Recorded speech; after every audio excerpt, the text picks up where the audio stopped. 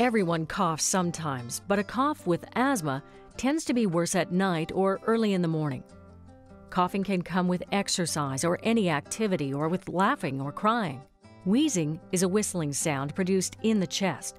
This sound is the sound of air being squeezed through narrow airways. Shortness of breath is when children are breathing fast, shallow, or can't catch their breath.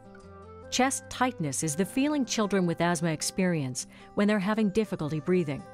Some describe it as feeling like there's a heavy weight on their chest. Some children have all these symptoms, while others only have one or two of them.